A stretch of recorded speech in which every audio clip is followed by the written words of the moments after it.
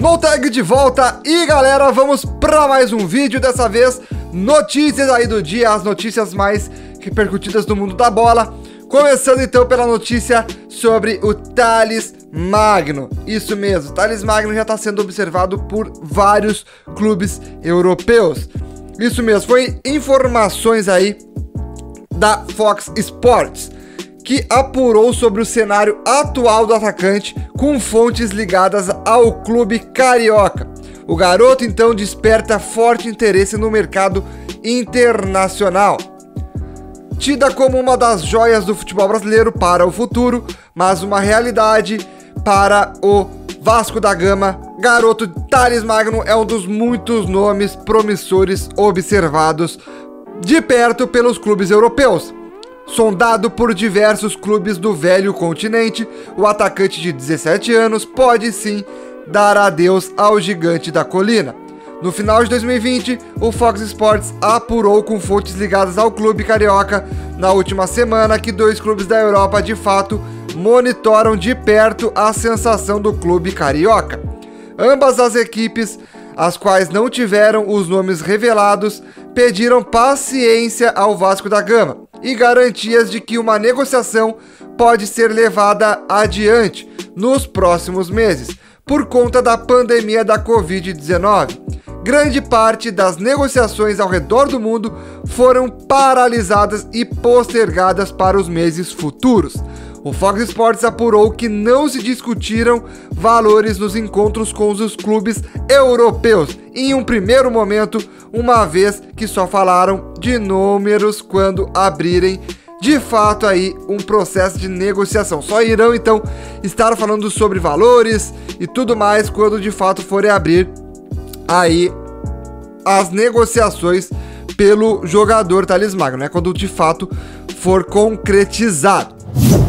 Também lá no lado do Vasco da Gama, 16 jogadores testaram positivo para o Covid-19. O Vasco anunciou que domingo 16 dos seus jogadores testaram positivo para o Covid-19. O Clube Carioca realizou 350 testes, incluindo jogadores, comissão técnicas, parentes e pessoas próximas à equipe. Então, foi informado isso pelo diretor Marcos Teixeira, o diretor médico, em uma transmissão de vídeo pelo canal Vasco TV lá no YouTube. Observamos 16 atletas que vieram com exames positivos. Eles são isolados do grupo. Vão continuar com contato médico e exames seriados até que tenhamos certeza de que eles não poderão mais transmitir esse vírus para o restante do elenco. Foi detalhado então pelo doutor aí, pelo diretor o médico explicou que estão sendo realizados testes rápidos e RT-PCR de forma programada. Os exames são feitos semanalmente como medida de controle. Teixeira disse que aproximadamente 30% das pessoas observadas já entraram em contato com o novo coronavírus, incluindo três dos jogadores do clube. Então o lance lá para o lado do Vasco não tá fácil, mano. 16 jogadores aí testado, testaram positivos. Esperamos aí que se recuperem o quanto antes. Agora uma notícia que muitos estavam esperando aí, os flamenguistas, né, principalmente. Acabou a novela, mano. Acabou a novela. Houve então um suspense, mas Jorge Jesus é do Flamengo. Ele renova, isso mesmo. O treinador português de 65 anos renovou seu contrato com o Rubro Negro até junho de 2021, mais um ano aí no Mengão. O clima de suspense entre os torcedores aumentou quando Marcos Braz, o vice de futebol, postou em seu perfil no Twitter uma imagem com a bandeira de Portugal, país natal do Mister, e a legenda: Bandeira linda. De acordo com o veículo, um dos representantes de Jorge Jesus estava em reunião com membros da diretoria do Flamengo, definindo os últimos detalhes para a renovação.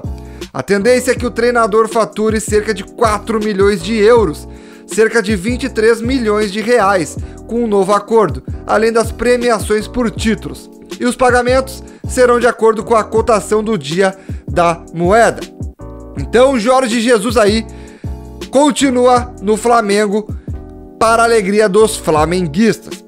E agora a última notícia do dia de hoje, manos, que já está rolando aí por vários sites é o suposto interesse do PSG pelo Everton Cebolinha. Isso mesmo, o PSG iniciou negociações para contratar Cebolinha e Napoli recuou. Após atuar por empréstimo pelo clube parisiense no início da temporada, o atacante Icardi, que pertence ao Inter de Milão da Itália, assinou o contrato por quatro anos com o PSG, com término em junho de 2024. O valor pela compra do centroavante, segundo informações da imprensa italiana, ficou em 50 milhões de euros, aproximadamente 301 milhões de reais. O jogador teve uma boa atuação em sua chegada ao clube francês com 20 gols em 31 partidas, além de se tornar titular no lugar de Thomas Tuchel. O Paris Saint-Germain segue em busca de reforçar o setor ofensivo. E de acordo com Ficha Jazz Football, o clube francês avançou para contratar Everton Cebolinha do Grêmio. Everton seria a contratação surpresa e o nome perfeito para fechar o ataque parisiense. O jogador seria o substituto de Cavani e um considerável melhoria ao ataque aí com Choupo-Moting, que é o atual reserva de Icardi. Segundo o portal, Marco Kirdemir e Miki Hernandes, argentes de Everton, se reuniram com Leonardo, diretor esportivo do PSG, para tratar sobre o negócio. Os franceses querem pagar até 30 milhões de euros, cerca de 180 milhões de reais, pelo jogador de 24 anos. Proposta maior que a do Napoli, que beirou a casa dos 28 milhões de euros. A proposta ainda está abaixo dos 35 milhões de euros esperados pelo Grêmio, que não se mostra disposto a negociar mais o valor. O jogador possui contrato com o tricolor gaúcho até 2023 e uma cláusula de rescisão de 120 milhões de euros. Então, Cebolinha pode sim estar dando adeus ao Grêmio. Pode ser que até a volta do futebol não ter, não, a gente não tenha mais Cebolinha de repente aí no, no time do Grêmio. Vamos ver o que, que, vai acontecer.